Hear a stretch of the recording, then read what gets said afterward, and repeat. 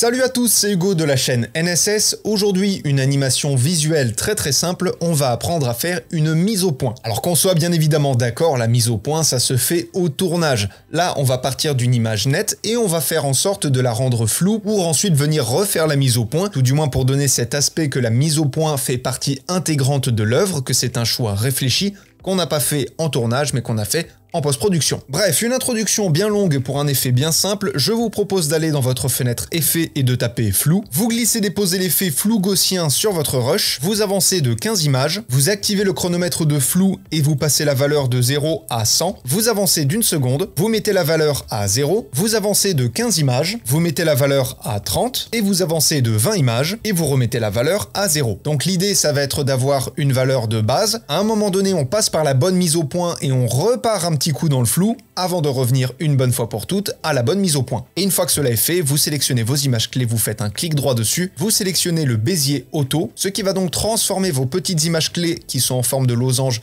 cette fois-ci en forme de rond. Et maintenant, quand on lit notre animation, on part du flou, on arrive à quelque chose de net, on repart dans le flou et on arrive à nouveau sur quelque chose de totalement net. Bien évidemment, c'est une animation très légère, vous pouvez le faire avec d'autres effets de flou, la démarche reste la même. Vous pouvez également faire une animation un poil plus rapide si vous le souhaitez, pour ma part, l'animation dure 3 secondes, ça me paraît être une bonne durée. Et bien évidemment, ça fait partie de ce genre d'animation qui va vraiment être de l'ordre du détail. Ça va rajouter ce petit quelque chose à votre œuvre, mais bien évidemment, ce n'est absolument pas une obligation. Voilà, comme je vous l'ai dit, c'est une animation hyper simple. C'est un tuto dont j'aurais pu parler il y a bien bien longtemps, j'ai jamais pris le temps de le faire, mais du coup maintenant c'est chose faite. Au moment où vous regardez cette vidéo, je me suis pris quelques jours de vacances, c'est le premier jour pour ma part, je compte bien en profiter pour me reposer, et d'ici mon retour, bien évidemment, j'ai préparé quelques vidéos d'avance. Apprenez, utilisez et progressez dans vos montages. Dans la description, en première ligne, vous irez voir, il y a mon OnlyFans. C'est toujours pas vrai, j'aime bien faire cette vanne, je sais pas pourquoi. C'est simplement les liens vers les plateformes Artlist, Artgrid et Motion Array qui sont les partenaires de la chaîne, ce qui permet de me soutenir pour plus de projets, pour plus de vidéos ambitieuses, etc. Je vous fais des bisous